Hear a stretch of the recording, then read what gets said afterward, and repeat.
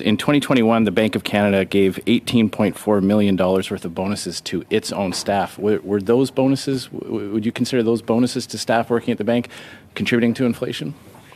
Um, well, I actually think the Bank of Canada's been, been pretty restrained, but uh, the senior deputy governor can take you through. Uh, uh, it's just a matter of opinion. our- Do do you think they added to inflation? I wanted your opinion. No, I don't think that added to it. Okay.